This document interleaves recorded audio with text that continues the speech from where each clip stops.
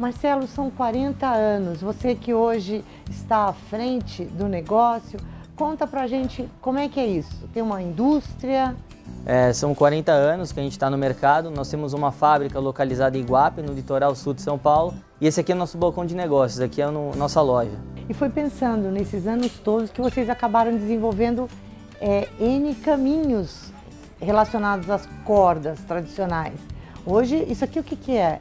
Isso aqui são cadeirinhas para esportes radicais, que são fabrica fabricação nossa também. Essa aqui, por exemplo, é uma cadeirinha colchoada, né, que ela dá mais conforto para o rapel.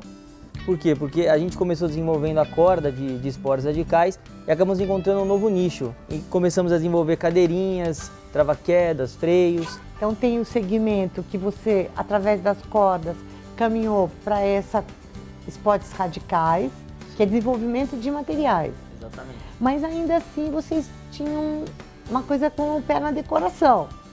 E aí vieram os tapetes? Os tapetes. Aí temos uma linha de tapetes que é utilizada para hotéis, uma linha de tapetes que é utilizada em cozinha industrial para restaurantes. Atendemos diversos clientes aqui em São Paulo e também no Brasil que são especialistas nesse ramo. Então, é nacional? Nacional. A Casa das Cordas hoje ela é referência também nos tapetes. E esse aqui é o tapete borrachado que eu te mostrei, né? Esse de vinil, a gente vende ele por metros, temos diversas cores e diversas quantidades. Mas o carro-chefe, na verdade, são as cordas. Sim, são as cordas. Nós somos especialistas em cordas, inclusive pelo fato de termos fábrica, é, a gente atende diversas necessidades específicas. Nós temos sisal, poliéster, rami, juta, polipropileno, algodão, enfim, são, são muitos tipos. Na verdade, eu vim aqui recomendada pelo arquiteto Olegário de Sá, que vai fazer a decoração do nosso stand na Revestir com cordas.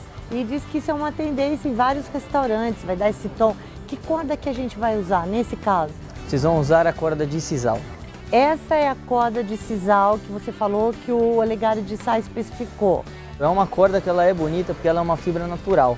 Entendi. Então você vê que ela é uma corda toda torcida, né? Então é a corda que é utilizada hoje para fazer essas paredes de decoração. Ah, então fica a dica. Fica a dica. Usar para decoração. Sim, exatamente.